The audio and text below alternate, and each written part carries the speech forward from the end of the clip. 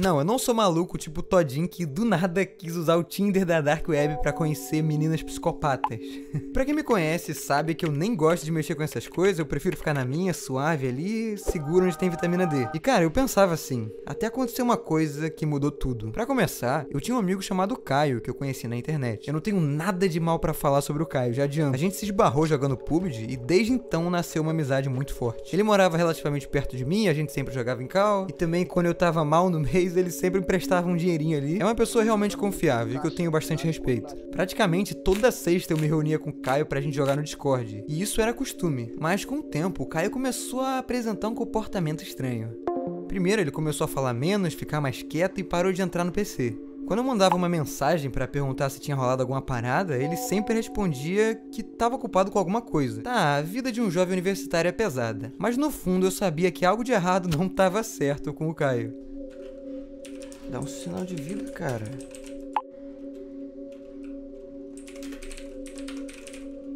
O cara some do nada, velho. A primeira coisa que eu pensei foi ligar para familiares, mas o Caio morava sozinho. E para piorar, eu também não tinha nenhum contato nem da mãe dele nem do pai. Eu pensei em ligar para polícia, mas sei lá também, vai que era trollagem, né? Eu ia passar vergonha. Só depois de quebrar muita cabeça, eu tomei uma decisão. Como eu sabia o endereço do Caio e onde ele morava, eu mesmo decidi pegar meu carro e partir pra cidadezinha dele, que ficava só a uma hora da minha. E claro que eu não sou burro, né? Obviamente peguei minhas câmeras tecnológicas, meu gravador de áudio do FBI e parti nessa investigação sinistra.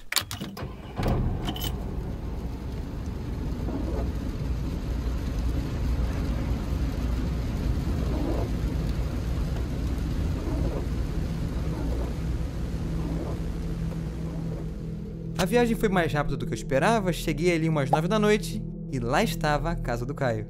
Peguei a chave reserva embaixo do jarro, abri a porta e, como esperado, nenhum sinal dele. Alô? Caio? Tá aí, mano? Caralho, tá tudo aceso aqui. Acho que tá em casa, né? Tava tudo vazio e ainda tinha luz acesa, TV ligada, tinha comida estragada, vários bichos baratos andando em cima e os peixinhos do aquário também estavam mortos. Muita coisa bizarra. Mas sem dúvida o pior era no quarto dele. O PC que o Caio costumava usar bastante tava todo aberto, com a fonte, as placas, HD, tudo quebrado, como se alguém tivesse meio que dado uma porrada com o martelo. Mano, como é que um cara entra na casa de alguém e destrói o PC dele? PC gamer é caro. Tipo, tem gente que sonha em ter um, aí chega alguém e pisa em cima. Sei lá, eu ainda tava com o pé atrás em tudo aquilo, mas ainda assim eu dei outra olhada na casa, peguei o HD e levei para uma loja de informática, para tentar recuperar os arquivos e ver o que diabos tinha ali dentro.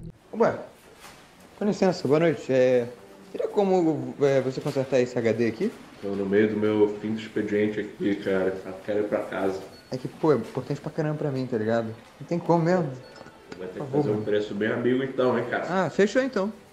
Deu tudo certo. O carinha recuperou os arquivos e passou para um novo HD. Cheguei em casa, conectei no meu PC e o que eu descobri me deixou de queixo caído. Se alguma pessoa invadiu a casa do meu amigo, ela tentou destruir isso.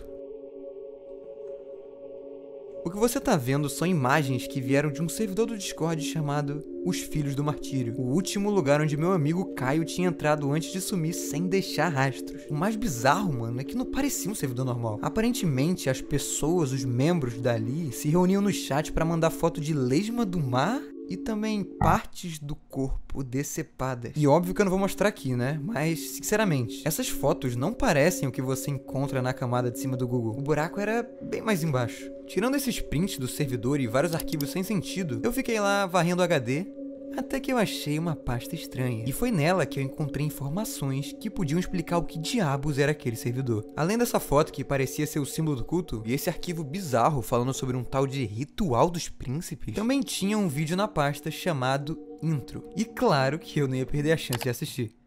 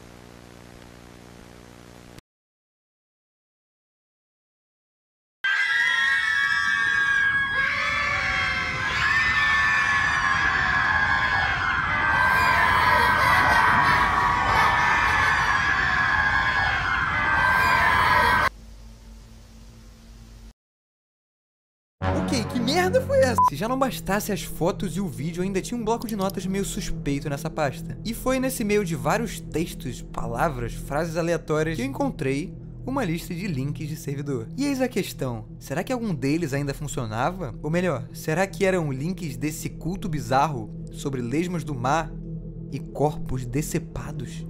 Você já sabe o que vai acontecer, né? Eu vou entrar nessa porra de servidor. Beleza, basicamente eu criei um e-mail novo para fazer uma nova conta no Discord. Também contratei um VPN para esconder meu IP. Segurança nunca é demais, né? Eu achava que eu ia ser banido logo que eu entrasse ali. Mas pelo contrário, cara, eu fui estranhamente bem recebido pelos membros. O nome do servidor era realmente Os Filhos do Martírio, tinha o mesmo símbolo que eu encontrei no HD, mas para minha surpresa, não tinha nenhum gore ou coisa pesada. Era um servidor normal. Eu fiquei na dúvida se aquele link realmente levava para o mesmo servidor do HD, mas não fazia sentido ser outro. Como eu disse, o nome era o mesmo e o símbolo também. Cara, eu não tava entendendo nada. Até que de repente chegou um maluco e começou a bugar mais a minha cabeça. Ele me recebeu muito bem, disse que ali era como uma família, uma segunda casa para mim, e também explicou que o servidor cultuava um tal de grande rei, que a gente precisava se entregar para ele e passar pelo processo para se livrar do sofrimento e encontrar salvação. Nesse momento tava mais bugado que Cyberpunk no dia do lançamento. Muita coisa não batia, mas no fundo eu sabia que eu tava procurando meu amigo no lugar certo. Pelos próximos dias eu me dediquei 100% àquele culto. E como já era esperado, não demorou muito para eu notar mais parada meio esquisita. Durante a semana, as pessoas conversavam normalmente e pareciam um sérvia normal, mas toda sexta-noite elas se reuniam em Cal para cultuar o tal do Grande Rei. E as coisas lá eram meio bizarras. Agradecer as pessoas que vieram aqui Salve o grande rei. E vamos agradecer, vamos louvar. Viva! Viva o rei! Se já não bastasse essa esquisitice do cara, no final de cada reunião dessa, uma pessoa específica era selecionada pelos mods para receber um cargo. Então, se libertar. Hum, se libertar. Eu acho que eu já ouvi essa palavra antes, hein? Se você já acha essa história meio suspeita, é porque você ainda não sabe que quando as pessoas recebiam esse cargo, elas simplesmente sumiam. É, isso mesmo, elas sumiam. Paravam de ficar online do nada. E opa, opa, a partir dali eu comecei a encaixar meu quebra-cabeça. Aparentemente o Caio tava nesse server e foi um dos escolhidos para ganhar o cargo. Isso explica o porquê ele começou a ficar offline e sumiu de repente, inclusive da própria casa. Ok, a gente tá chegando perto de algo. E aí que entra uma questão importante. Quando essas pessoas ganhavam esse cargo e se libertavam, Pra onde diabos elas iam? Se eu quisesse, eu podia esperar a minha hora e ser escolhido no processo. Mas sei lá, mano, podia demorar muitas semanas. Eu precisava encontrar uma forma de me filtrar ali antes. E claro, obviamente, eu criei um plano. Tá, o plano é o seguinte. Basicamente, eu anotei aqui o nome de todos os usuários, os mais ativos lá do servidor, e que ainda não foram escolhidos para receber o cargo. Coloquei o nome deles aqui, o usuário, o código, tudo certinho. E, mano, por incrível que pareça, a grande maioria deles tem informação pública, tipo rede social, o link do próprio Facebook. E vocês sabem, como o Facebook consegue nome, sobrenome, localização, a vida inteira da pessoa tá ali, né? Então tá aqui a lista com o usuário do Discord, possível nome, redes sociais e também eu vou colocar uma do endereço. Se alguma dessas pessoas aqui for escolhida para se libertar, né, receber o cargo lá, eu vou de carro até a casa delas e gravar tudo para levar pra polícia. Na próxima noite de sexta, lá estava mais uma reunião no servidor, e como previsto, um dos membros da lista foi selecionado. Peguei minhas câmeras e o gravador do FBI de novo e parti pra casa do cara antes que qualquer coisa estranha pudesse acontecer. Eu tava perto de descobrir a verdade por trás daquele culto misterioso, e mais do que isso, eu também tava perto de encontrar o meu amigo Caio.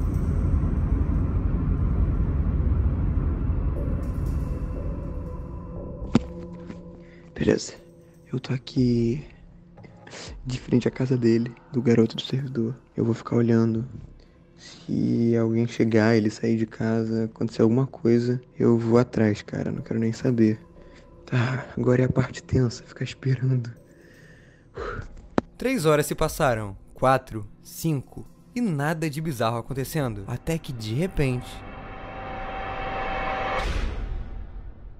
Seja lá de onde veio aquele carro, era estranho demais para eu simplesmente deixar passar. Mantive uma distância segura para não parecer suspeito e fui atrás dele. Eu dirigi por, sei lá, uma hora até o carro sair da cidade e parar no meio de uma rua vazia. Mano, o carro parou na beira da pista e as duas pessoas saíram e entraram no meio do mato, no meio da floresta. Ai. É, não tinha outra opção. Agora que eu tava ali, eu tinha que entrar na floresta.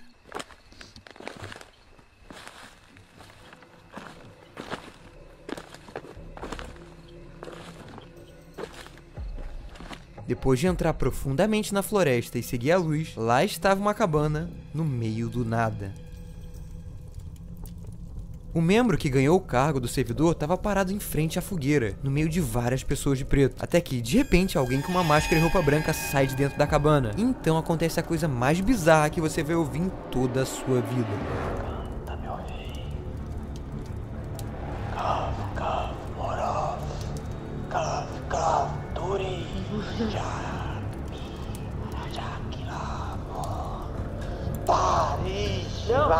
Mano, que merda tava acontecendo ali? E como se não pudesse piorar, o pior acontece. Depois de recitar aquelas frases bizarras, o cara de branco abaixa e começa a comer, literalmente, a carne do garoto.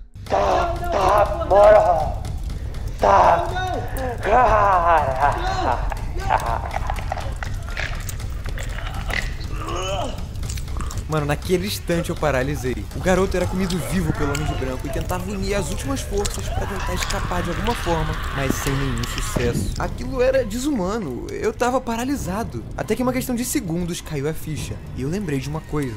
Naquele HD recuperado da casa do Caio, eu encontrei esse arquivo chamado Ritual dos Príncipes. Nele tinha foto de um homem de branco no meio e outras pessoas de preto em volta. E nesse arquivo falava que o príncipe tinha que se alimentar de alguém. Mano, era a mesma coisa que estava acontecendo ali. Será mesmo que eu tava vivenciando o ritual dos príncipes na vida real? Cara, eu tinha gravado tudo. Era só correr para longe dali, levar pra polícia e nunca mais pisar em culto na minha vida. Mas antes que eu pudesse correr pro meu carro, o homem de branco termina de comer. Se levanta, puxa a máscara para fora. E por detrás de um rosto cheio de sangue e pedaços de carne, eu consigo ver o rosto do Caio. O choque era tanto que eu quase caí pra trás e fiz um barulho no arbusto. No mesmo instante, os homens de preto olham fixamente pra mim. E mano, não sei o que vocês fariam no meu lugar. Mas na hora eu só pensei em correr. Enquanto eu corria, só passava pela minha cabeça o que, que o Caio tava fazendo de branco e por que ele comeu uma pessoa. Que merda foi aquela, mano? Eu nem conseguia pensar direito, só correr sem parar. Então cheguei no carro, pisei no acelerador e comecei a dirigir até a delegacia mais próxima.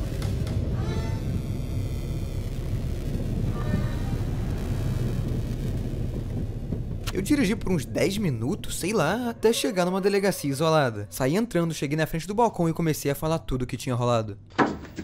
Oi, eu preciso da polícia agora. Eu tava num culto, aqui perto. Mataram uma pessoa. Meu amigo tava lá de branco. Senhor, ele matou calma, uma pessoa. senhor, calma, mantenha calma, por favor. Você pode explicar melhor? Acabou de acontecer um homicídio.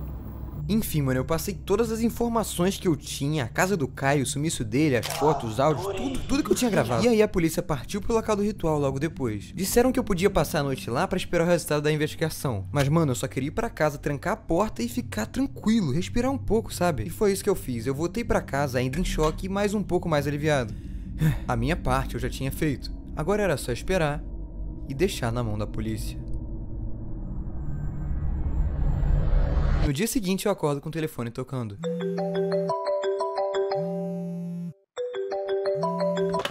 Alô? Bom dia, senhor. Tudo bem? Aqui é da polícia. Ah, oi. Alguma informação do incidente de ontem? Vocês conseguiram prender os caras? Pegaram o Caio? Sinto lhe informar, senhor, mas não encontramos nada. Hã? What the fuck? Como assim não encontraram nada? Nós fomos ao local que o senhor repassou e não achamos nenhuma cabana ou nenhum resquício de culto ou, ou homicídio. Não, não, não, mas não é possível. Eu vi eles, eu tava lá. E a casa do garoto, eu vi ele entrando no carro. Então, senhor, nós fomos a esse endereço e essa era uma casa hipotecada que pertence ao governo. Ninguém Mas- mora lá já faz uns praticamente uns oito anos. Olha, desculpa, mas eu não sou maluco. Aquilo aconteceu. Vocês viram as fotos, os áudios, eu passei tudo pra vocês. Sim, mas infelizmente não serve de nada, já que não encontramos nenhuma cena do crime lá, né? Ok. Agora o bagulho ficou tenso. Não, não, cara, isso tá errado, isso tá muito errado. E a casa do Caio? Vocês foram lá pelo menos? Ele, ele tava no culto, meu amigo era um canibal. Ele tava participando, eu vi, eu não sou maluco, eu não Senhor, sou por louco, pô. favor, a investigação já Meu Deus, foi feita, ela já foi concluída, tá? Como assim, Estamos cara? Isso é terminados, tá certo? Meu Deus, isso realmente tá acontecendo? É sério isso? Parece que eu tava de volta a estaca zero. O que adiantou o risco que eu tomei me filtrando nesse culto pra polícia simplesmente cagar e andar? Como eles não acharam nada? Simplesmente não faz sentido. Eu não sou maluco, o garoto era real, o Kai era real e eu tinha certeza que era ele usando a roupa branca. Cara, eu nem tinha acordado direito e eu já precisava fazer alguma coisa. Então eu liguei o PC para entrar no servidor de novo. Mas para minha surpresa, o server tinha sumido. E aqueles links de convite que lá atrás funcionavam, agora estavam inválidos. Eu também procurei a conta do Discord dos membros, inclusive a vítima do ritual, mas elas não existiam mais. Era como se o culto tivesse apagado qualquer evidência da existência dele. Isso explicaria por que a polícia não achou nada. Pelo menos por enquanto. Ainda era meio estranho o papo da casa do garoto ser hipotecada e ninguém mora lá por oito anos. Eu não engoli aquela história, mas nem ferrando. O pior é que se eu quisesse descobrir a verdade por trás, eu ia ter que voltar lá sozinho e ver a casa com os meus próprios olhos. Respirei fundo, tomei coragem e peguei o carro. Eu sabia o risco que eu tava me colocando, mas depois de ontem. Mano, foda-se. Eu fui bem devagar, atento para ver se alguém me seguia, e cheguei na casa dele. Logo de cara, todas as janelas bloqueadas e uma placa de propriedade do governo, como se a casa realmente fosse hipotecada e tivesse abandonada por um tempo. Estranho, porque eu não lembrava daquilo antes. Mas ok, dei uma olhada em volta, tentei achar alguma outra coisa, mas fora isso, nada demais. Eu também estava perto da cabana da floresta, então aproveitei a viagem para ver como estavam as coisas por lá. Dirigi atento por mais alguns minutos e parei o carro no lugar seguro. Entrei no meio da mata, mas para minha surpresa, não encontrei nada. Nenhuma cabana e nenhum resquício do ritual. Já não bastava os servidores que sumiram, a casa hipotecária da pessoa que nunca existiu, e agora também não tinha nenhum resquício do culto na floresta? Mano, o que que tá rolando? Eu já tava começando a duvidar de mim mesmo. Mas eu lembrei que faltava voltar no último lugar. Às vezes a gente esquece que a resposta das nossas perguntas não tá no final ou no meio do caminho, mas onde tudo começou. E é por isso que naquela mesma noite eu atravessei a cidade e voltei pro lugar onde tudo começou. A casa do Caio. Mal sabia que eu estava prestes a mudar o rumo daquela investigação de uma vez por todas.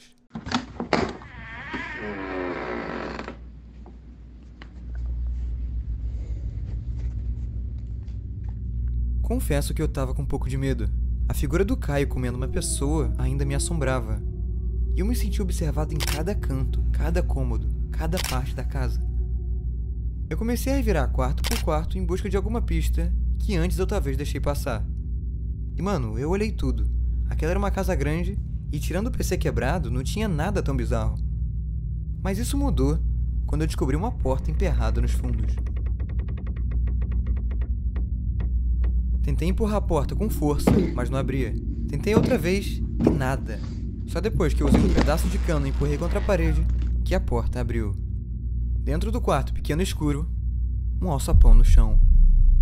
Eu tava com muito cagaço, mas eu tomei coragem, puxei a alça de metal e dentro dali, uma passagem subterrânea que levava para debaixo da casa. Ok, estamos indo embora dessa casa. Adeus, muito obrigado por assistir o vídeo e até a próxima. Tomei coragem, desci a escada e cheguei no porão. Se o Caio quisesse esconder alguma coisa sobre o culto, seria ali com certeza. Não demorou muito para no meio do breu e da sujeira eu encontrar várias imagens e anotações por todo lado. E para minha surpresa, elas eram sobre o culto. O mesmo símbolo do servidor, o mesmo nome, as mesmas lesmas e as mesmas fotos de corpo decepado. Também tinha livros sobre o culto, várias folhas falando de ritual e, sem dúvida o pior, uma foto do Caio que comprova ainda mais o envolvimento dele no culto. Aquela altura eu nem precisava mais da polícia. Com aquele tanto de informação, eu podia dar exposes no culto e a internet ia fazer seu trabalho. E vamos combinar, eu já tinha me arriscado o suficiente. Era só ir para casa e terminar o que eu tinha começado lá atrás. Mas antes que eu pudesse fazer isso, eu escuto o som de passos.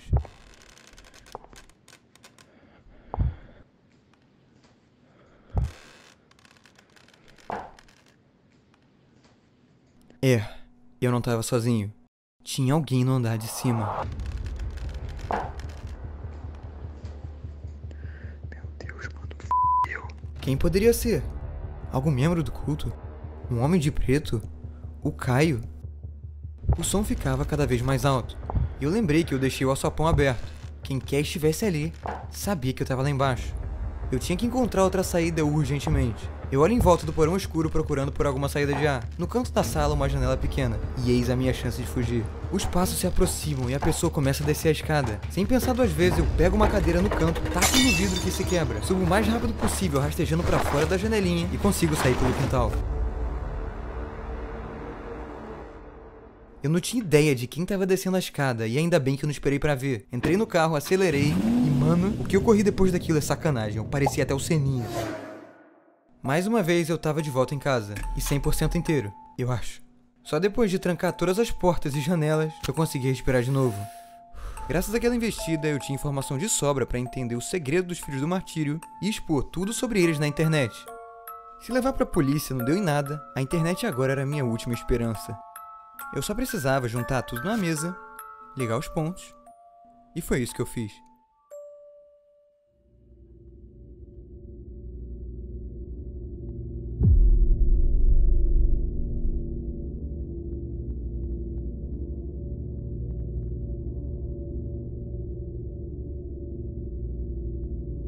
Lembro da primeira vez que eu vi os prints do servidor no HD do Caio.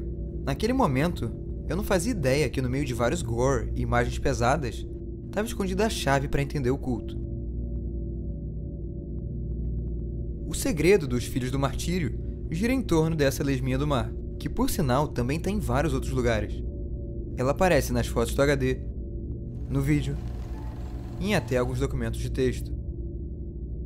O nome dessa espécie é Hermicenda crassicornis, uma lesma do mar bem pequena encontrada na costa oeste da América do Norte e conhecida por seus comportamentos canibais. Aparentemente, essa lesma come outros da mesma espécie, prática necessária para o crescimento dela e a manutenção do seu ciclo de vida. E mano, eu não sei muito de biologia, mas só por esse motivo dá para entender porque tem tanta foto dessa lesma envolvendo o culto. Ela é tão importante para eles que é usada até como exemplo no vídeo de introdução, onde uma delas, representada pelo nome de príncipes, se alimenta de outra menor da espécie. E aqui eu acho que vocês já sacaram, mas a Hermicenda crassicornis é tipo um mascote, um simbolismo, um arquétipo da prática canibal nesse culto. Canibalismo esse que já foi comprovado nos prints do server, quando a gente vê vários corpos decepados, e claro, óbvio, naquele ritual dos príncipes, onde o Caio literalmente come uma pessoa viva. Ok, até aqui tudo bem. Os filhos do martírio são de fato um culto canibal e eles usam essa lesma do mar para representar a si mesmo. Mas aí vem algumas questões. Por que um culto canibal? Qual o objetivo deles? E como o Caio foi parar ali dentro? Essa última eu não tenho ideia, não sei responder. Mas eu sei que todo culto gira em torno de cultuar uma divindade. E os filhos do martírio não são diferentes. Eles cultuam essa figura conhecida por Grande Rei, e por algum motivo o canibalismo é um meio de servir a ele. Ou talvez invocar ele? E antes que vocês me perguntem, não dá para saber quem é o grande rei. A gente só pode deduzir quem é. Ou melhor, o que é.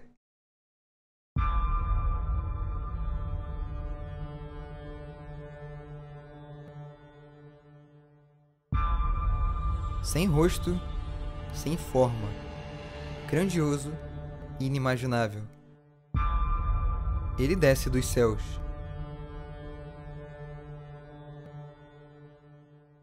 É, meio bizarro. Levando em conta que o canibalismo é o caminho para invocar o grande rei, isso explica, por exemplo, por que aquelas pessoas do servidor sumiam. Elas caíam no papo de se libertar do sofrimento e iam se encontrar com alguém do culto. Mas mano, óbvio que era tudo uma isca e elas na verdade eram usadas como sacrifício no ritual. E isso pode te chocar um pouco, mas aquele servidor que eu entrei nem era o único. Aquele era só um que atuava na região perto da minha casa e da casa do Caio. Mas aparentemente os filhos do martírio tinham uma lista de vários links e de vários tipos de servidor onde eles conseguiam vítimas. Aquele era só um dentre centenas de servidores escondidos na internet. E quando eu digo internet, eu não estou falando de dark web, fundo do iceberg, essas coisas, mas qualquer servidor do Discord por aí, inclusive aqueles que a gente encontra na camada de cima, no Discord, em sites do Google mesmo, normal. Por isso, é sempre bom ficar atento, não compartilhar informação pública na internet e prestar atenção com quem você conversa. Infelizmente, eu não tinha conseguido salvar o Caio. Mas ele tomou suas próprias escolhas e eu não podia fazer muito quanto a isso.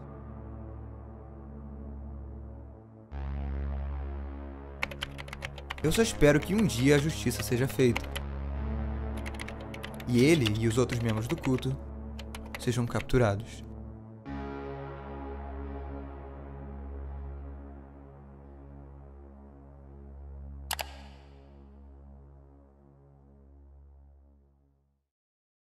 No dia seguinte, o post que eu tinha escrito tinha explodido. A internet toda estava falando sobre isso.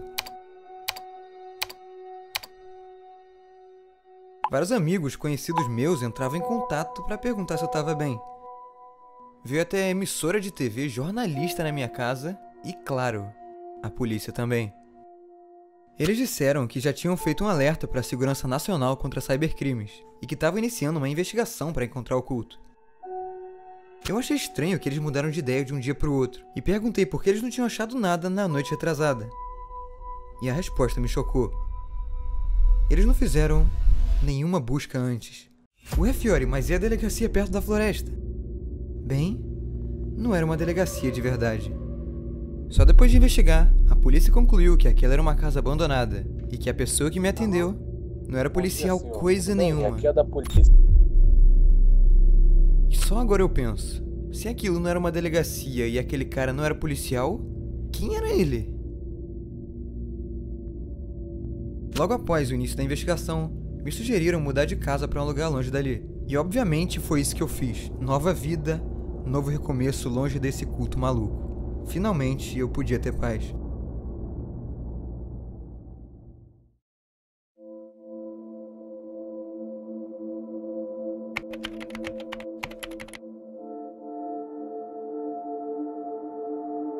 Enfim, vida nova. Eu nunca pensei que eu poderia sair de um acontecimento quase traumático para uma vida tão boa e tranquila em pouco tempo. O dia na cidadezinha passava rápido. Eu acordava com o sol da manhã batendo no quintal, o clima era sempre bem agradável e eu não tinha muita coisa com que me preocupar. De noite chegava uma neblina, a porta da frente ficava com um aspecto meio sinistro, meio vibes filme de terror, mas não passava disso. O incidente do culto ia lentamente se dissolvendo pela nova rotina, e eu realmente pensava que era passado, que tinha ficado para trás. Mas eu estava enganado. Eram 11 horas de um dia ensolarado na cidadezinha, quando eu vi essa notícia. Supostos membros de culto foragido são avistados em cidade do interior.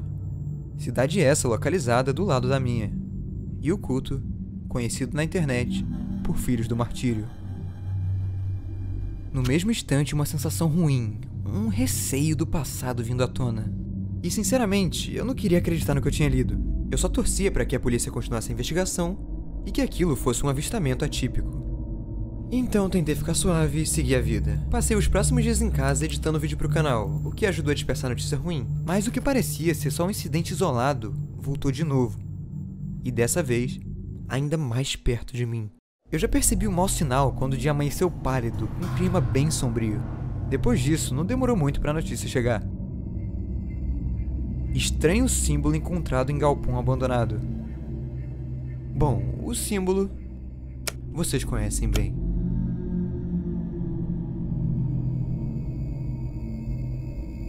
Para piorar, ainda acharam vestígios de sangue no tal galpão. E esse galpão era localizado na estrada que levava justamente à minha cidade. De novo uma sensação ruim e o mau pressentimento que o culto estava de volta. Por que o símbolo e vestígios de sangue no chão? Seria esse o sinal de mais um ritual dos príncipes? E era esquisito demais a notícia do dia anterior e agora essa, próximos da minha cidade. O culto tá chegando perto de mim ou é impressão minha? Por um lado, eu criava essas teorias malucas na minha cabeça. Mas por outro, mano, eu tô numa casa nova, não tem como eles me acharem. Né? No final da tarde do mesmo dia, nuvens de tempestade se formam. Era mais um sinal de que algo ruim se aproximava.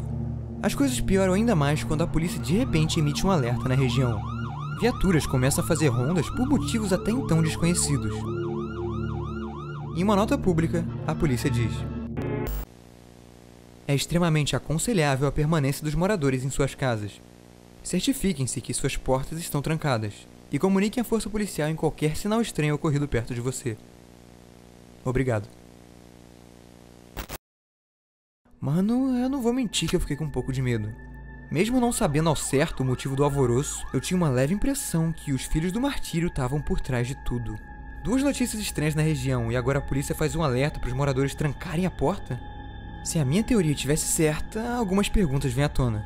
O que levaria o culto para tão perto de onde eu morava? Seria tudo mera coincidência ou será que eu tinha deixado passar algo? Bom, teoricamente não tinha como o culto me encontrar, mas mesmo assim eu precisava ficar atento e garantir minha segurança. Então segui o alerta da polícia e fui trancar a porta de casa. Mas aí vem um problema. Por algum motivo, a trava da porta não ia até o final e ela simplesmente não fechava.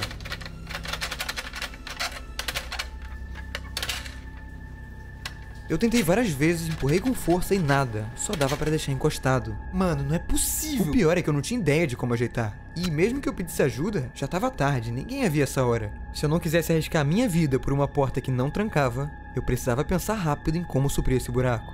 E foi aí que eu tomei uma decisão que mudou o meu destino. Na minha gaveta de equipamentos tinha um switcher para fazer live que eu nunca tinha usado. O switcher basicamente pega a imagem de uma câmera e joga no computador em tempo real por um cabo HDMI. Então eu tive a brilhante ideia de posicionar a minha câmera filmando a porta de entrada da casa, conectei o switcher, liguei no PC e. A porta não estava trancada, mas pelo menos eu tinha uma câmera de segurança improvisada que eu podia ver no PC em tempo real e dentro da proteção do meu quarto. Mal sabia que ela ia ser fundamental para o que viria mais tarde naquela noite.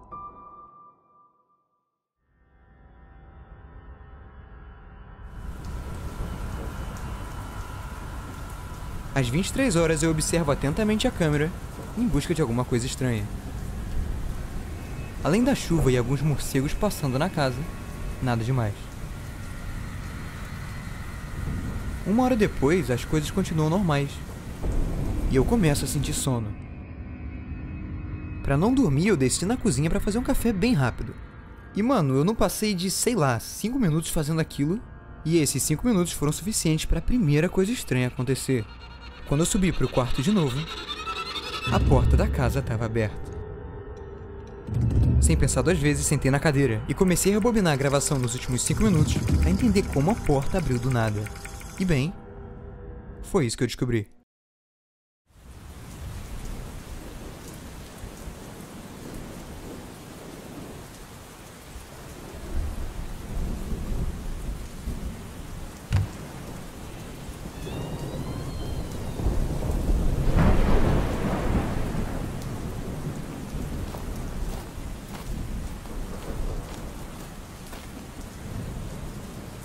É, invadiram minha casa.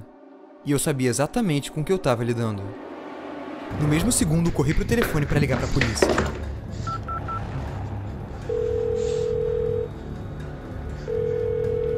Polícia Militar, emergência. Moça, por favor, manda a polícia agora. Acabaram de entrar na minha casa. Um homem de preto entrou pelo portão. Urgente, urgente. Eu preciso de uma viatura agora. Não demorou muito para cortarem a fiação da casa.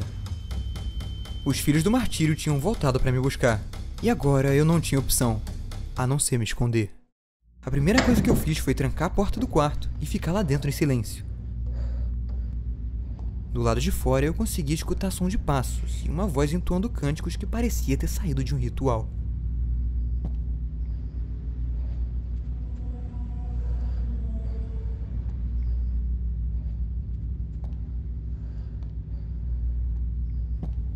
Depois de alguns minutos de tensão, os passos se aproximam do corredor e a pessoa tenta abrir a porta.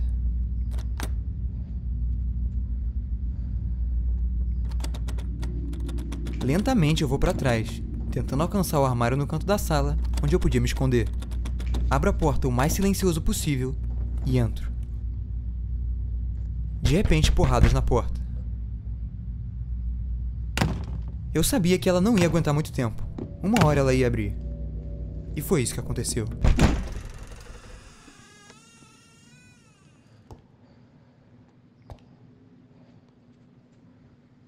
Fiore, cadê você? Eu vim te pegar. Aquela voz era estranhamente familiar e ao mesmo tempo desconhecida. Quem quer fosse o invasor misterioso, ele sabia o meu nome. E pior, sabia que aquela era a minha casa. Não adianta se esconder. tá aí. Vou te achar. Os passos do homem ficam cada vez mais próximos e eu percebo ele chegando perto do armário. Apenas uma porta de madeira frágil me divide dele. Através dela e no meio de um silêncio macabro, eu escuto uma respiração monstruosa de quem antes parecia humano, mas agora era qualquer coisa menos isso.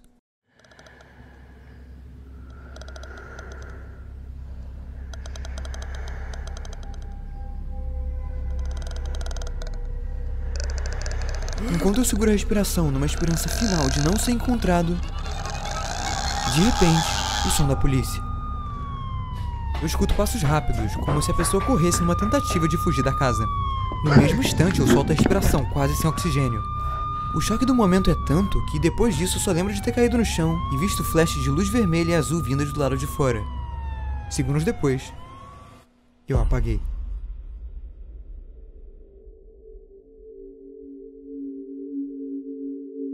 No dia seguinte, eu acordo numa sala branca, cheio de policiais à minha volta.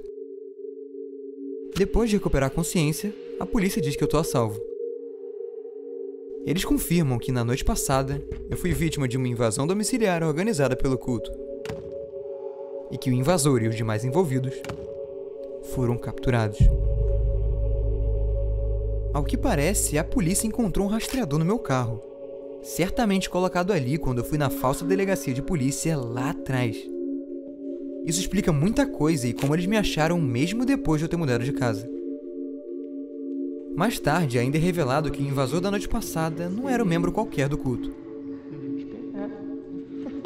Mas que, na verdade, era o Caio. Pela primeira vez em meses, o Caio estava de volta. Mas dessa vez, preso. Por que o meu amigo entrou no culto e por que ele foi atrás de mim aquela noite, eu nunca vou saber. A polícia até tentou obter respostas na sala de interrogatório, mas o depoimento do Caio, além de incompleto e sem sentido, é perturbador. Vamos lá então. Começando do início. Por que você entrou naquela casa ontem? Não aconteceu. Não aconteceu. Como? Não aconteceu! O senhor foi capturado exatamente na casa da vítima. Como não aconteceu?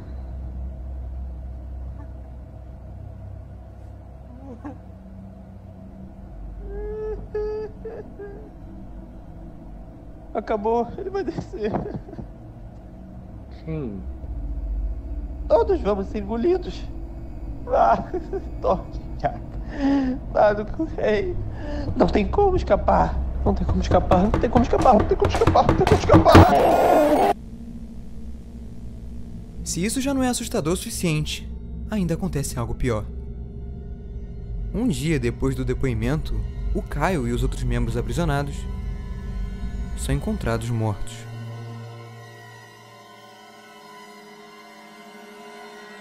Os corpos completamente mutilados. Como se alguém tivesse destroçado eles de dentro para fora. Por um lado, eu fiquei triste de ver o final trágico que o meu antigo amigo teve. Por outro, eu fiquei muito confuso, sem ter ideia do que causou aquela coisa bizarra. A perícia tentou explicar, há quem tente fazer isso racionalmente, mas eu digo que é impossível. É mais fácil aceitar isso como uma forma de justiça divina. Algo sobrenatural. De outro plano. De outra. dimensão.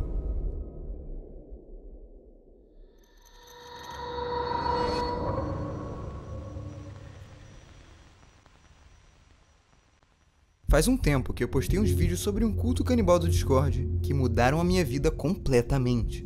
Por causa deles, o meu canal estourou, muita gente conheceu e se inscreveu nele, e eu sou muito grato por isso. Mas tudo tem um preço. Da Exposed num culto perigoso da internet enfrentar eles e conviver com a dura realidade de ter falhado em salvar o meu amigo, é difícil até hoje. E isso me mudou. Mesmo que o culto tenha supostamente terminado, eu passei a ficar mais em casa, mais reservado, atento para qualquer coisa esquisita ao meu redor. Todo dia eu tomava o máximo de cuidado na internet, olhava as notícias e procurava por coisas suspeitas.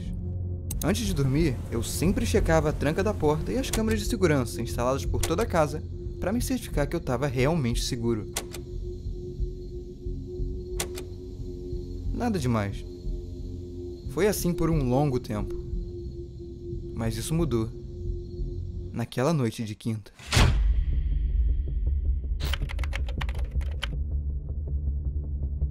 Tudo começou numa segunda de sol.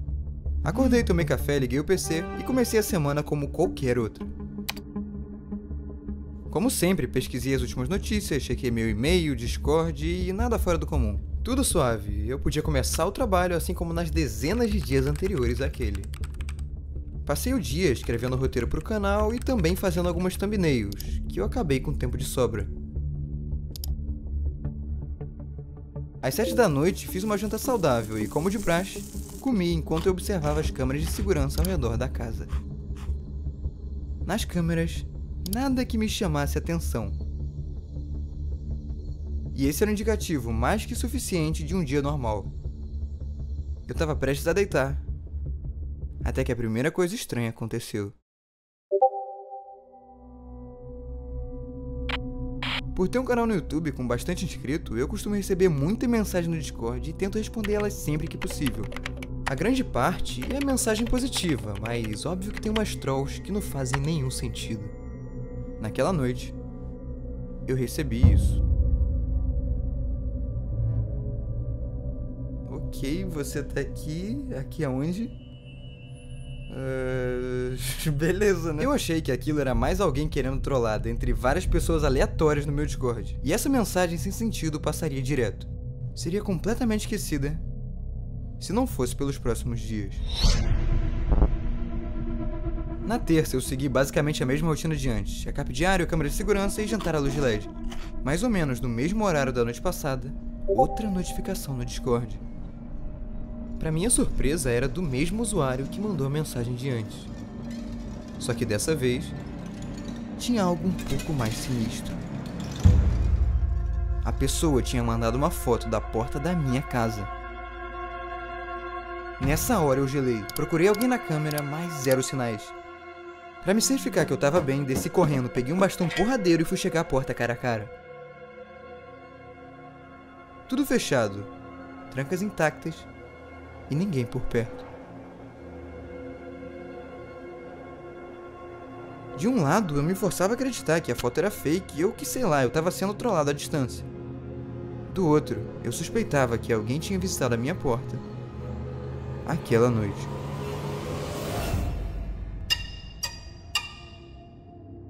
Depois de um sono mal dormido e de dúvidas turbulentas, parei para raciocinar.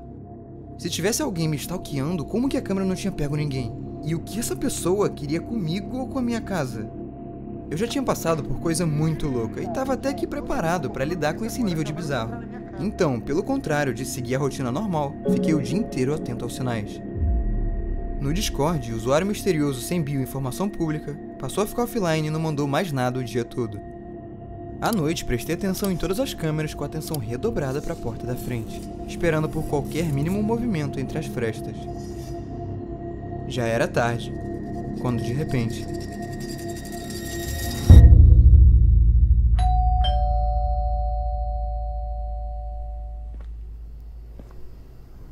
Meu Deus. Quem é essa pessoa?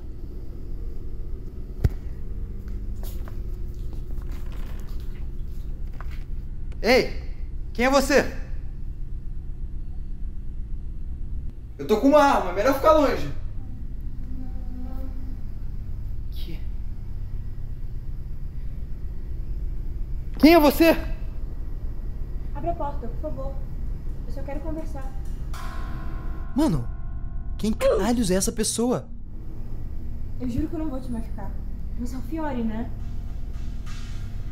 Eu tava segurando o porrete, preparado para dar um porradão na pessoa do lado de fora. Cheguei perto da porta. Respirei fundo, girei a chave para destrancar e. Oi, você é o Fiore? Sim, e quem é você? Cara, eu sou muito sua fã. Fala. Eu assisto seu canal há muito tempo e eu sou apaixonada pela saga do culto. Eu posso tirar uma foto? Pode, claro. É. É. Ai, obrigada pela foto. Nada. Foi bem difícil encontrar sua casa. Peraí, mas. Como você encontrou minha casa? Foi no vídeo do culto, né?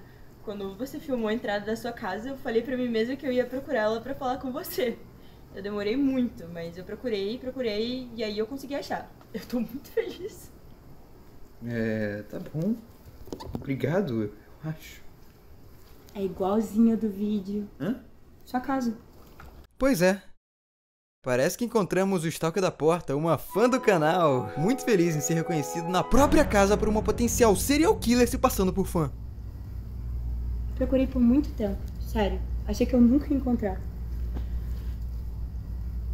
É, legal. Muito incrível, muito incrível. Agradeço a sua vinda, mas eu preciso entrar de novo, ok? Muito obrigado. Espera! Eu posso usar o banheiro? É que eu moro meio longe e eu tô super apertada. Eu prometo que eu não sou canibal. É. Tá, pode usar, fica aqui atrás. Tá. Não me julguem, amigos. Tudo bem que é uma fã desconhecida que pode ser uma serial killer ou um demônio em corpo de mulher, mas usar o banheiro não mata ninguém, né? A garota logo entrou em casa com a sua bolsa, apontei a direção do banheiro e ela foi andando pra lá. Enquanto ela tava lá dentro, eu fiquei parado, em pé, tentando compreender um pouco a situação e muito atento caso ela virasse o demônio. Segundos depois, som de descarga, porta se abrindo e ela sai de dentro como uma pessoa normal, visualmente confiável. Bem louco mesmo, né? Bem louco o quê? Eu chegar aqui, tirar uma foto com você e do nada eu tô usando seu banheiro. Ah, é. É meio absurdo, né? Muito absurdo. Meu nome é Maru. Fiore. Desculpa se isso foi muito rápido. Eu realmente assisto seu canal e foi legal encontrar você e entrar na sua casa. Ah, não. Relaxa, relaxa. Como eu disse, eu não moro tão perto, mas se você quiser marcar alguma coisa depois. Hum? Marcar alguma coisa? É, tipo, sei lá, sair pra algum lugar. A gente pode dar um rolê. Pega meu número. Tá. Foi basicamente isso que rolou. Anotei o número da tal Maru, vulgo garota na porta, vulgo minha fã, vulgo possível psicopata, e depois ela foi até a porta pra ir embora. Pisou do lado de fora e foi andando. Só antes de seguir, ela parou, olhou pra trás e perguntou uma última coisa. Você chegou a ver um homem com um cachorro esses dias? Um homem com um cachorro? Isso. Hum. Acho que não. Ok. Tchau. Situação mais aleatória da minha vida? Sim, de novo, não me julguem, ok? Na hora eu não sabia muito como reagir e ainda bem que deu bom. Maru foi embora, tranquei a porta bem trancado de novo e voltei pra dentro. Eu achava que as bizarrices iam terminar por ali, mas eu não sabia que o dia seguinte me aguardava coisas ainda piores, que mudariam meu destino mais uma vez, Pra sempre.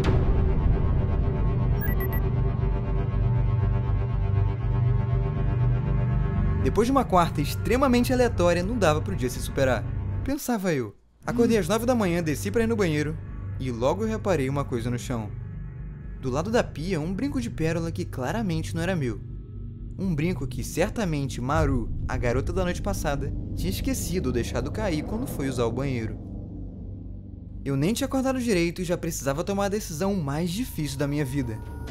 Vender o brinco de pérola pra alguém por muito dinheiro ou entregar de volta pra ela? Óbvio que eu vou vender, deixou aqui porque aqui. Brincadeira. Na mesma hora, lembrei que eu peguei o número da garota e abri o WhatsApp pra perguntar do brinco. Depois ela respondeu, disse que deixou cair sem querer e perguntou se eu podia levar pra ela no mesmo dia. Eu fiquei meio sus, com um pouco de receio, meio esquisito, sabe? Mas aí ela deu a ideia da gente se encontrar num parque a céu aberto que não era tão duvidoso assim. Ah, mano, não tem por que ter medo. Ela já entrou na minha casa, se ela quisesse me matar, teria feito ontem. Espero eu. No fim da tarde, saí com o carro para levar o brinco que a Maru tinha esquecido. Atravessei a cidade por alguns bons minutos até chegar no parque, que apesar de público e a céu aberto, não deixava de ter um clima lúgubre e meio assustador.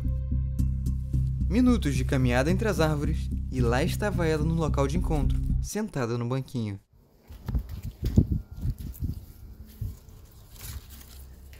Opa! Oi, você veio. Tudo bem? Uhum. É, você trouxe o brinco? Tá Ai, muito obrigada, Fiore, de verdade. Eu não sei como eu deixei na sua casa, que vergonha. Relaxa. Eu não sei de perder coisa, só tipo, caiu, sabe? E eu tenho esse brinco desde pequena. É bem especial pra mim. Um especial que deixou na minha casa e nem lembro. Para, cara. Foi sem querer. A gente ficou se falando um pouco mais e a conversa fluiu como um rio. Apesar dos apesares, eu senti uma leve confiança com a Maru. A gente não tem casos muito positivos por aí, tipo a garota da Dark Web que o Todinho encontrou, mas sei lá, essa realmente parecia fã do canal, uma pessoa normal, que só queria me conhecer e ficar de boas. Duas horas depois o dia escurecia e a gente ainda tava conversando no parque, sem hora pra acabar. Caraca, mano, uma mina aleatória em frente à porta de casa de repente aparece e fala: Oi, posso tirar uma foto com você? Eu dei sorte que você não chamou a polícia, fala a verdade. Não, que polícia, o quê? Eu ia te atacar. Eu ia te bater com um fucking porrete. Ah, Eu tava com um porrete na mão. Eu sei. O horário que foi ruim. Até se fosse de dia. De noite, então. Mano, sem condições. Desculpa, de verdade. Eu sei que deve estar sendo difícil depois de tudo que rolou. Com você e com seu amigo também. Ah, acontece. Eu fiz o que eu pude. Eu acho. Eu entendo a sua insegurança. Não dá pra confiar em ninguém. Tem muita gente perigosa aí fora. Você, no caso? Eu não, eu sou tranquila. Beleza, então. Mas. Você chegou a ver O quê? um homem com um cachorro? Eu vejo vários homens, pessoas com cachorro na rua. Não, mas. perto da sua casa. Talvez sim, talvez não. Eu não lembro, acho que sim. Não é difícil ver alguém passeando com um cachorro, né? Posso ir pra sua casa? Pra minha casa? É. Do nada assim. É. O que que tem? N- n- É meio estranho, né? A gente se conheceu ontem, conversou um pouco mais hoje, e aí você já quer ir lá de novo. Eu fico lá só um pouco. Depois eu pego um Uber e volto pra casa. Hum. E aí? Deixa ela aí ou não? Ah, mano. Foda-se! Tá, então vamos.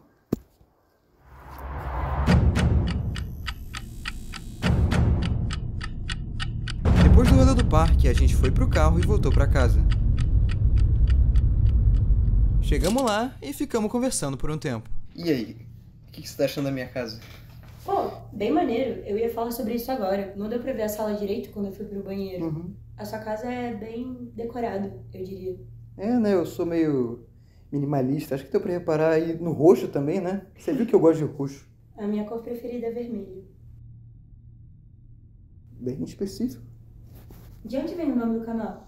Fiore? Ah, é o meu nome, né? Duvido. É verdade, cara. Eu até te mostraria a ID, mas tá longe agora. Sei. E Maru, de onde vem?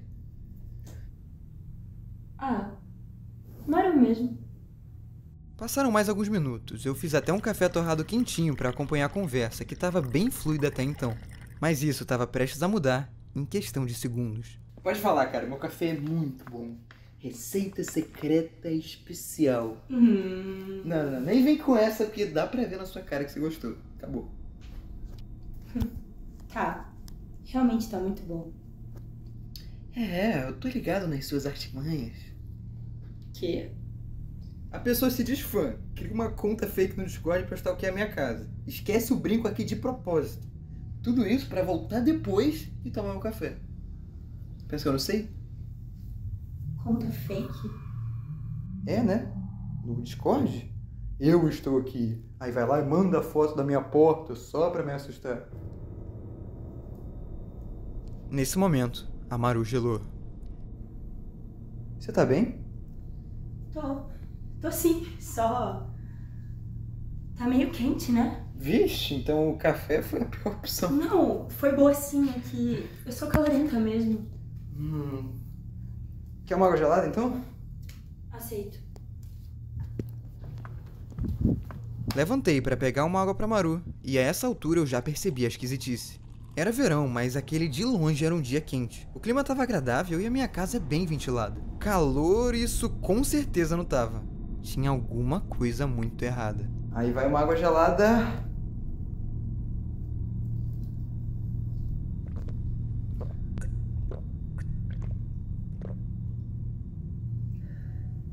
Tava com sede, hein?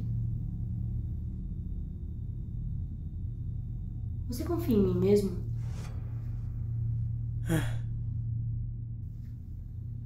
Por que não?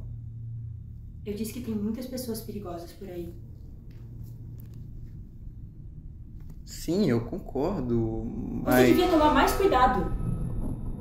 Por quê?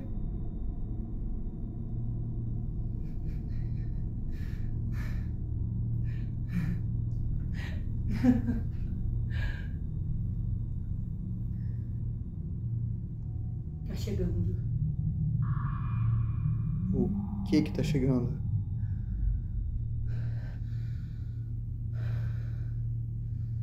Preciso ir no banheiro.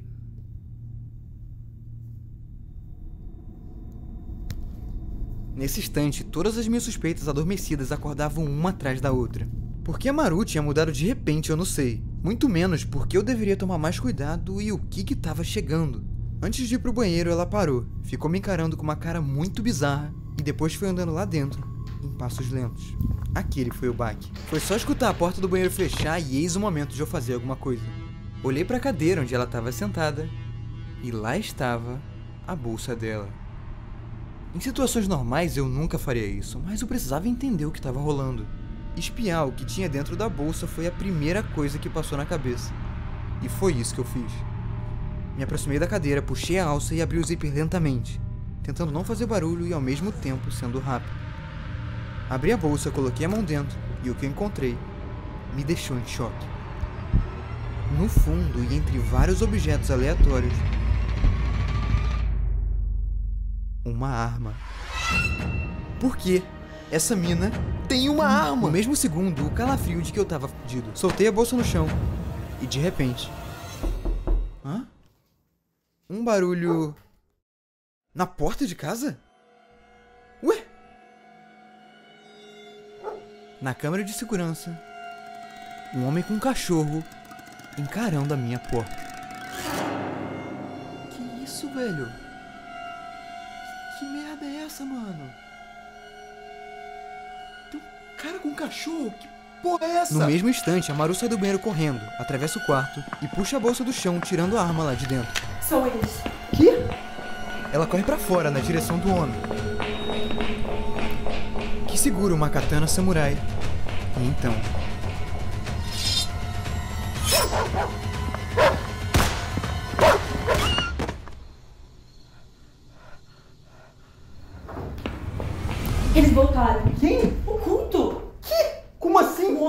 Cachorro, lembra que eu te disse? São eles, o culto canibal. Você Não, não, precisa confiar em mim. Me explica direito, pelo amor de Deus. Não dá, eles estão vindo em maior número. Vem comigo.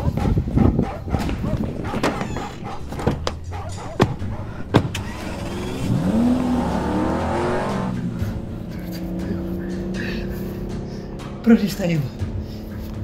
Quem era aquele cara? Você pode me explicar direito? Merda, acabou de Já acontecer? disse, eu explico depois. Como assim explicar depois? Você acabou de matar uma pessoa, me arrancou de casa e agora a gente tá indo pra um lugar que eu nem sei onde é, Eu velho. não matei. Eu atirei na perna. Quê? E nem era só um, tinha vários outros chegando. Isso pode ser sacanagem. Você vai entender tudo depois. Agora fica quieto.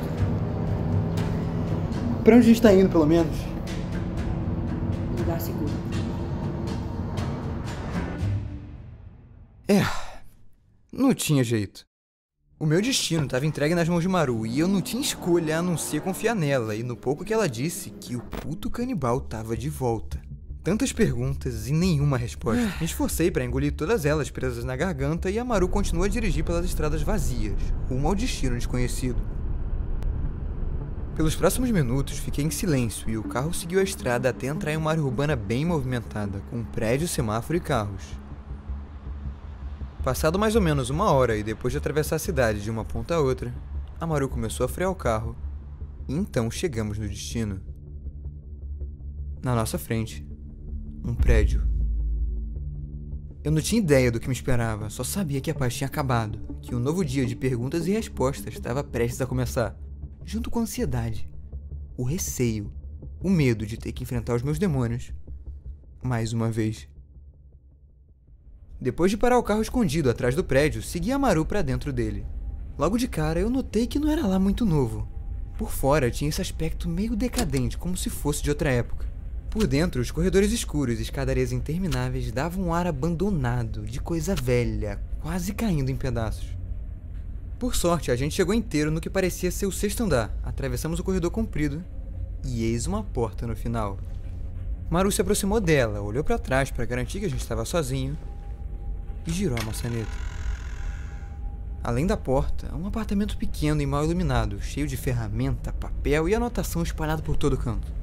Apesar da recém-chegada, eu ainda não tinha entendido por que ela me levou para ali e o que significava tudo aquilo. Mas o longo silêncio estava prestes a ser quebrado.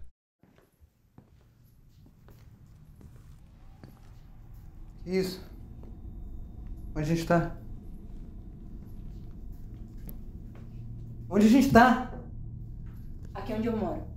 Ah, legal. Você me trouxe pra sua casa.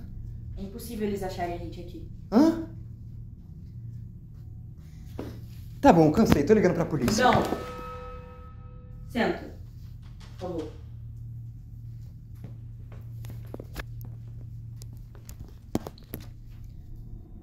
Então, Por onde eu começo? acho que você pode começar dizendo quem é você de verdade.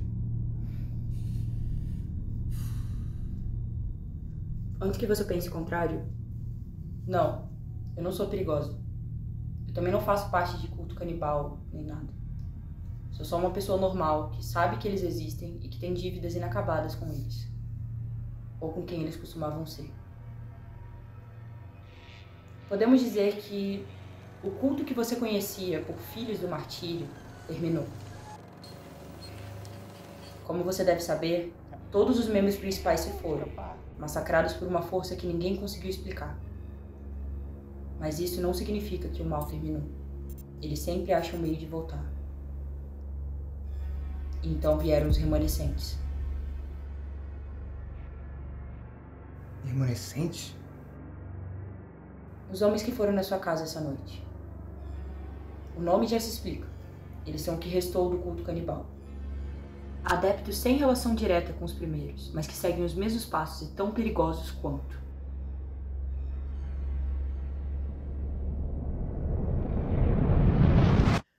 Ah, Então, deixa eu ver se eu entendi. Você é tipo uma investigadora que sabe do culto e que me stalkeou por sei lá quantos dias antes de dar as caras na mesma semana que os adeptos deles vêm na minha casa? Desculpa, mas isso é muito. Cara, se eu quisesse te matar, eu já teria feito.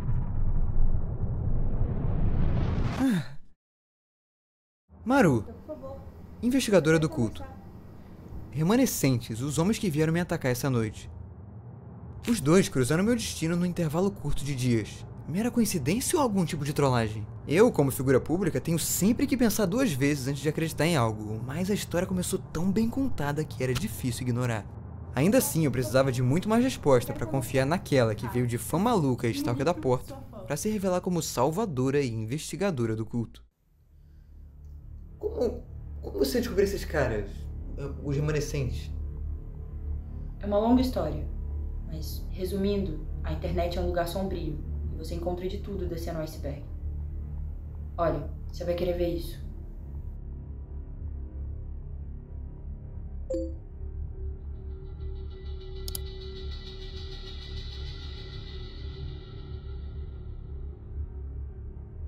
Antes dos seus vídeos, eu me infiltrei nesse servidor de adeptos aos filhos do martírio. Obviamente não era o grupo original que você deu exposed, mas, como eu disse, praticantes, seguidores sem ligação direta com eles, e que mais tarde se revelariam como os remanescentes. Depois dos seus vídeos, você procurou justiça e expôs o culto publicamente. Isso pode ter ajudado a proteger as pessoas na internet, mas te tornou mais vulnerável. Mostrar o portão de casa e o seu envolvimento com o culto principal foi um dos motivos que fez esse grupo, os remanescentes, irem atrás de você. Mas o motivo real que explica isso é ainda mais sinistro. Qual o motivo? Você deve se perguntar até hoje por que o seu amigo invadiu a sua casa e foi tão longe atrás de você. A verdade é que o Caio acreditava numa profecia. Essa profecia fala que alguém do mesmo sangue, ou de quase sangue, tipo um amigo próximo, seria a vítima ideal para o ritual dos príncipes. O sacrifício perfeito para a libertação.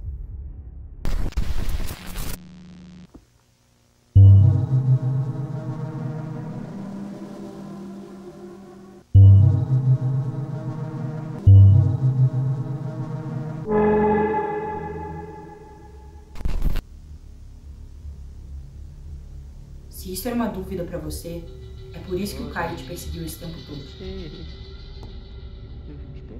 Você era como um amigo de sangue, o escolhido, segundo a profecia. E agora, mesmo que ele não esteja entre nós, a profecia permanece. O que eu quero dizer com tudo isso é. Mesmo não estando mais vivo como pessoa, o Caio vive como legado. Mesmo que os filhos do martírio, como nós conhecemos, tenha terminado, o Caio e essa profecia são a nova religião. É por isso que aqueles homens foram na sua casa. Eles veneravam o Caio, sabiam da profecia. Queriam você como sacrifício perfeito. Assim como eu, procuraram a sua casa e articularam por meses. A diferença é que eles estavam lá para te machucar. E eu tava lá para impedir que isso acontecesse. Ok. Não parece tão fake agora. Então, eu era o escolhido, mas não faz sentido. Não é sobre se você acredita ou não, mas se eles acreditam. Tá, tá. Quantas informações você tem desses caras afinal? Você descobriu onde eles moram, alguma base ou pra onde eles Só iam? sei que eles iam pra sua casa. Tudo que eu sei é que eles não são numerosos, mas são muito mais metódicos e levam a profecia a sério. E tem os cachorros também.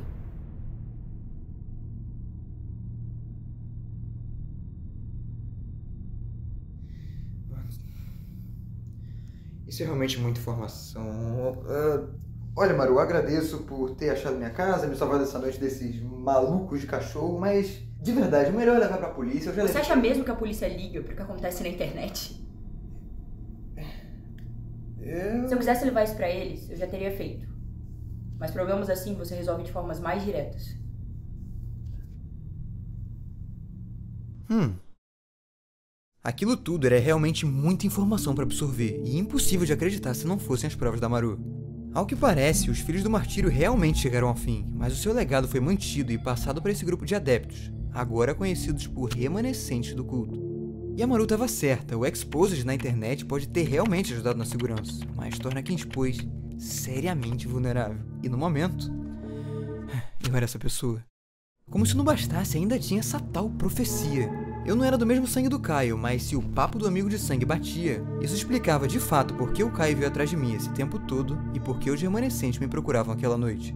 Desde o início eu sempre fui o alvo, o sacrifício para fechar o ciclo, a vítima perfeita pro último ritual dos príncipes. Segundos depois de reflexão, a ficha caía e eu finalmente entendi o grau da situação. Mas restava uma última questão, e a mais importante. Então, o que a gente faz agora? Eu não salvei você à toa. Você vai me ajudar com uma coisa. Que coisa?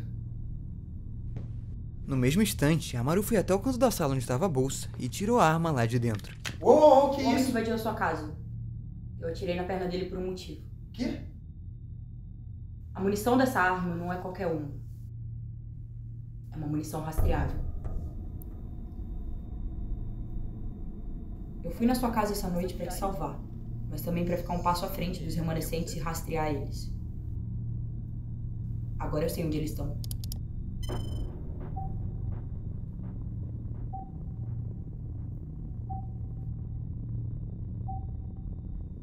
Meu Deus. O que você vai fazer com isso? Eu vou até lá matar eles. E você vai me ajudar. Não, não, não, não, não. Não vai rolar. Eu não vou ajudar porra nenhuma a fazer isso. Olha só, eu fiz uma promessa de nunca mais entrar em crenca em culto canibal e não vai ser hoje que eu vou quebrar ela. Você é um ex teimoso. Tem outra, se eu sou escolhido dessa profecia aí, eu quero mais é ficar longe, ir embora dessa merda. Cadê a porta, cara? Para! Você vai se esconder. Até quando? Eles não podem sair impunes de novo. Os filhos do martírio têm que acabar. Parece que chegamos no ponto que eu não queria chegar. Eu sabia que se eu cedesse aquilo, eu estaria me expondo e arriscando a vida mais uma vez. Mas de fato, até quando eu precisava me esconder? Até quando acordar e dormir todos os dias checando a câmera de segurança e o portão de casa? Até quando ficar preso nos traumas do passado? Essa é a única chance. E para isso eu preciso da sua ajuda.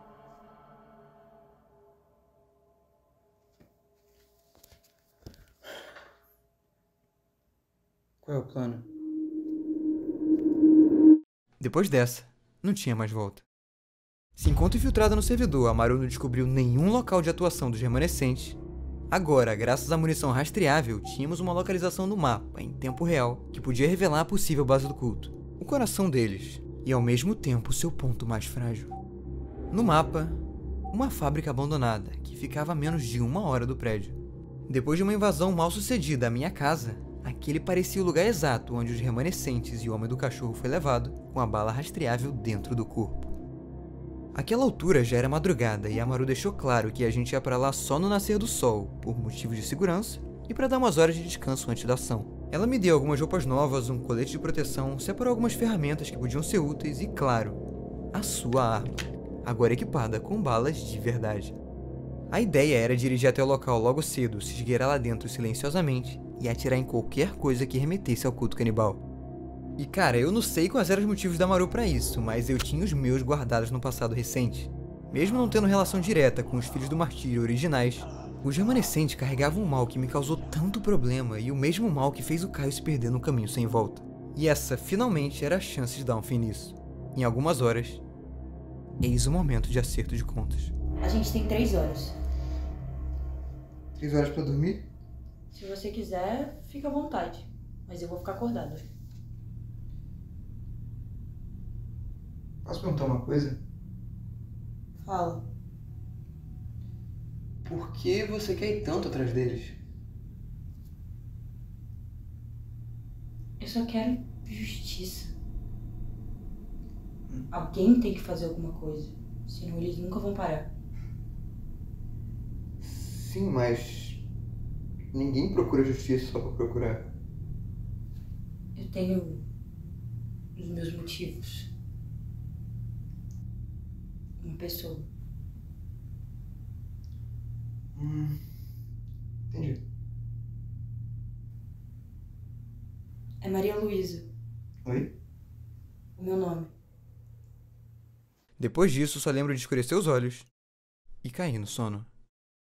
O despertador tocava às 5 da manhã, cortando um sono já pequeno e mal dormido pela metade. Levantei e eu e Maru fizemos as últimas preparações, check-up geral, pegamos as ferramentas e a arma totalmente carregada e partimos no carro dela rumo à perigosa missão. Atravessamos a cidade, dessa vez iluminada por um nascer do sol nebuloso. Seguimos a rota no ponto demarcado e enfim chegamos à fábrica abandonada. Pouco tempo atrás eu arriscava minha vida indo em lugares perigosos com apenas uma câmera e gravadores de áudio. Agora lá estava eu de volta à ação, caminhando em direção aos meus demônios de novo. Mas dessa vez acompanhado, preparado e páreo para enfrentar o que quer viesse na minha frente.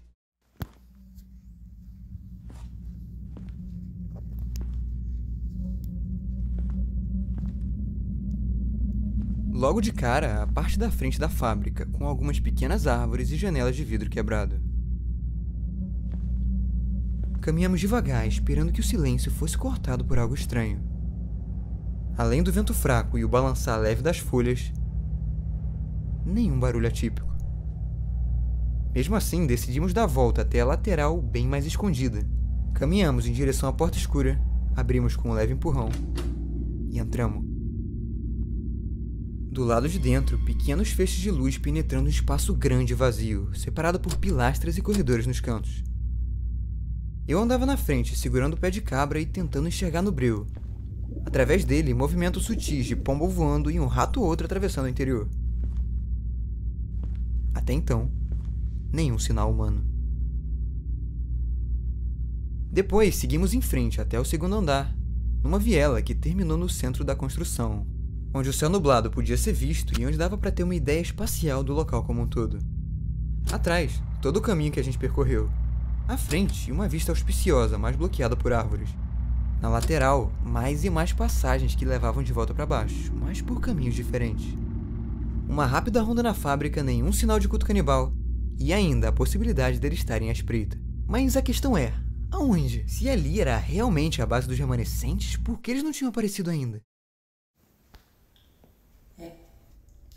Esse lugar é maior do que eu imaginava. Tem certeza que eles estão aqui? Absoluto.